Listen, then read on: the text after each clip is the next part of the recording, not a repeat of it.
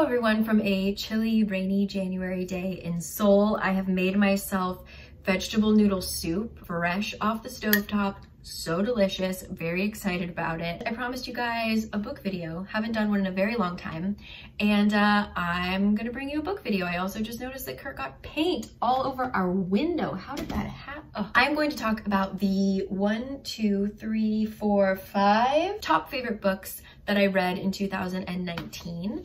And I also have two shout outs, kind of honorable mentions. So let's just dive right in. Also, before I start, sorry to the people who do watch my book videos regularly. I know I say this every single time, but even though I prefer physical books, I read ebooks because uh, there's more availability and I don't have to buy them. I rent and I use two different apps. One is called Overdrive and then the other one is the little sister of Overdrive called Libby, L-I-B-B-Y. If you have a library card, it works for many different countries. You can sign up and then you can rent ebooks.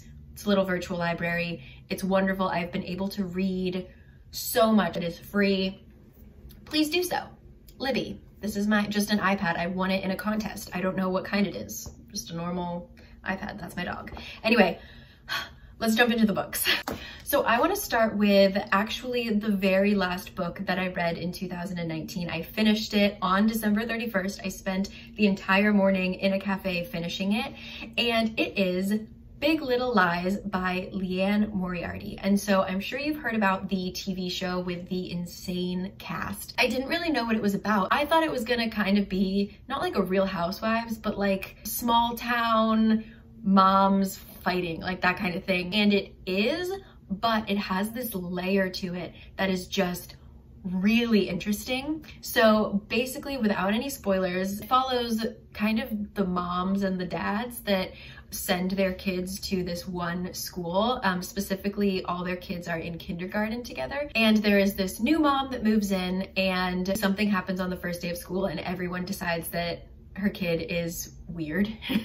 And all the characters are so funny like they all have a very distinct personality.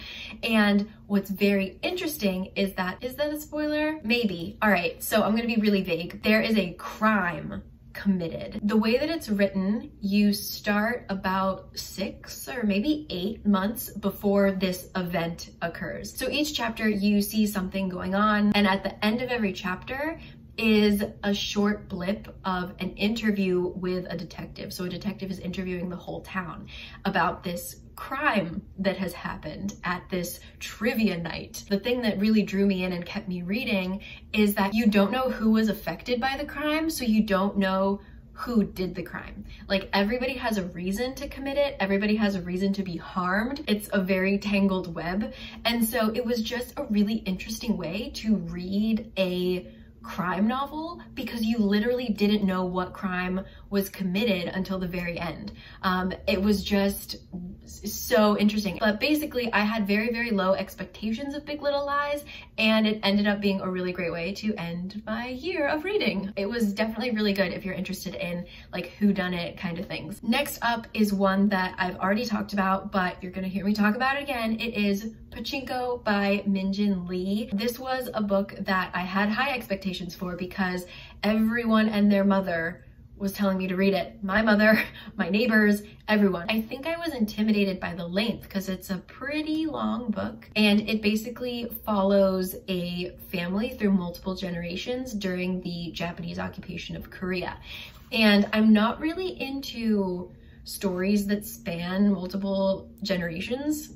I don't know why. So I was kind of like not into it. And then it finally was available on Libby and I started reading it and I could not put it down. It was so interesting and you learned so much and a lot of it actually takes place in Japan and the there are still so many Koreans living in Japan and the way that their lives it, it just was a really interesting window into history. And especially as Americans, I know we really don't learn about that part of history at all. It really had nothing to do with us except that we kind of let Japan take Korea if we could have the Philippines. But so it's, it's just like a really beautifully written way to learn about that part of history. And I highly suggest it. Everybody I know who's read it has raved about it. Wonderful, absolutely wonderful book. Or my soup gets cold, hold on guys. Okay, so I'm a little bit conflicted about this book as I've talked, is it snowing?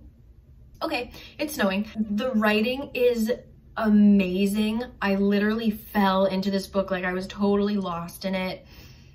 And the ending was not my fave. So, without any spoilers, it is in the Woods by Tana French. Tana French has a series called the Dublin Detective Squad, I believe. And so um, the entire series is set in Dublin or around Dublin, which is really interesting. I That's kind of what drew me in to read it in the first place. Another thing that's interesting is that throughout the series, and I kind of recommend the whole series, she doesn't follow just one character. So you can totally read them out of order. It doesn't matter. But In the Woods is the first one. So I started with that.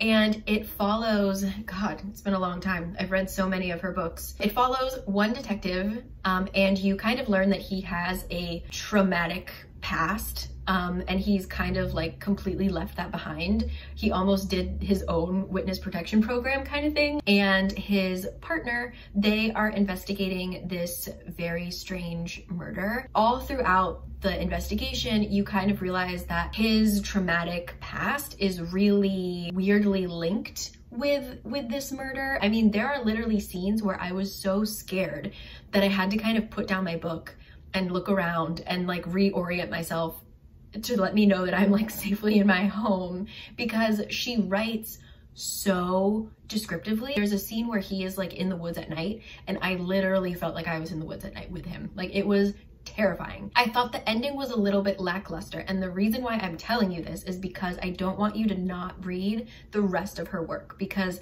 I think the rest of it um, is is so interesting. Especially like I think it's the second one.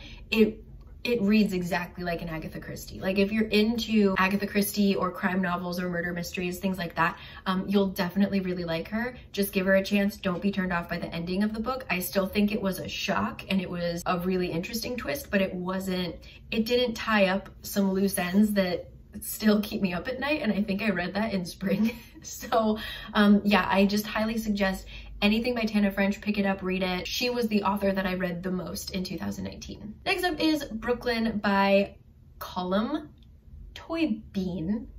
Mm -hmm. I think you guys told me that's how it's pronounced last time. He's actually another Irish writer, and I hope that you have all by now seen the movie Brooklyn because um, it's absolutely wonderful. Saoirse Ronan's in it. It is oh, one of my favorite films. The movie follows almost word for word um, the novel that it is based off of. But um, the reason why I suggest the novel is because number one, it's beautifully written. If you love the story of Brooklyn, reading it in a book is just as fabulous. But he kind of goes further and ties up the loose ends that the movie didn't. I think the movie left us at a good point for a movie, but um, the way that he ends the book is much more satisfying. It's basically about a young Irish girl who lives in a tiny little Irish town and she is given the opportunity to go work in America, in Brooklyn. And so she takes the boat over, starts her life. Um, she starts going to school, she gets a job in a department store, um, just slowly trying to build her life in America. In the process, she meets a boy named Tony. It's basically just follows their relationship being a a couple of like an Italian American and then like an Irish Irish girl um, it's it's just very very funny how life unfolds for them. Certain circumstances arise and she has to go back to Ireland. And once she's there it's kind of this hard decision of well hey I can stay here. Like there's a job for me. There's my my family. There's the people I grew up with. Like this was always the life that I envisioned I would have or I could go to where I know no one and go be with Tony and and try and start this crazy weird life that I'm trying to live in America. If you've ever immigrated, if you're an expat, it's very interesting how they talk about like how easy it is to slip back into to comfort and to just kind of like live two separate lives even. Um, it's just, it's a really, really beautiful story. And yeah, I highly suggest it. If you really don't like to read, I don't know why you're watching this, um, but at least do me the favor of watching the film. It is fabulous. So yeah, Brooklyn by Colm Tóibín. And last but not least, I actually have a physical one of this because I bought it at the used bookstore and I'm rereading it. It is Nocturnes by Kazuo Ishiguro. So I think I listed his book, Never Let Me Go, as one of my favorite books of all time. I made a video, I'll link it, but yeah, I'm pretty sure. If, if I didn't, it is one of my favorite books of all time. Um, but I had never read his short stories and I'm a big sucker for short stories. I love them.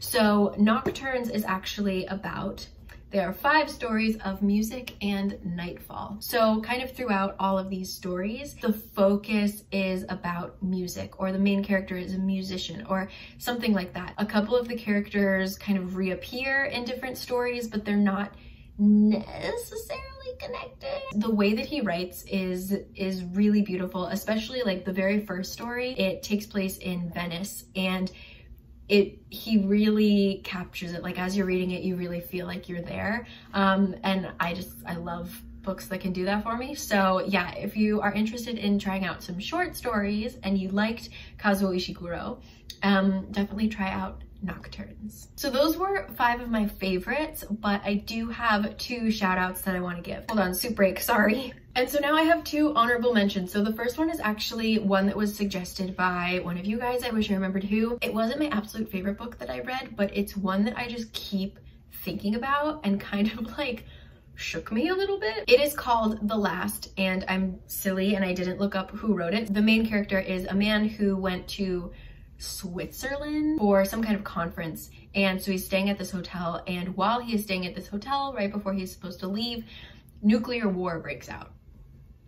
Fun times. So all communication is lost. Eventually the sky starts to darken because of the like nuclear blast. And so the sun gets covered and they're running out of food. They kind of like hunker down and just try and live in the hotel with all the other guests, but also they discover a body um, of a person that was unaccounted for. They are trying to quietly, so as to not scare the other people, him and like two or three other guys um, are trying to like also solve a murder while surviving in like post-nuclear war. Was really interesting and what's weird is I stayed at this hotel in Hakone in Japan and I swear to god I was the only person in this hotel. It was terrifying. It looked like it came straight out of The Shining.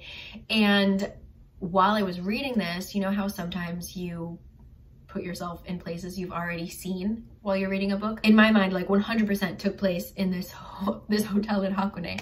So I just have like these really vivid mental images of scenes from this book. And so it kind of like honestly made me look into like survival skills, like learning first aid and stuff like that. I do that with every apocalypse book I read. Um, I'm always like, I'm gonna learn how to make fire. And I do, and then I forget and I've never actually tried it. So I don't know if it would actually work. Anyway, it also is very interesting because it talks about the concept of like the end of the world, but in this case, the world didn't really end. And that's kind of the problem. That's why life is so hard is because like the life you knew ended, but the world is still here and the world is still going on and there's still people alive. Um, so I thought that was very interesting and it's something that I think about a lot. It was a very quick read. I think I read it in a couple hours. Um, so yeah, I would also suggest The Last if you are not uh, very scared of nuclear war, which mm, we all are, but yeah.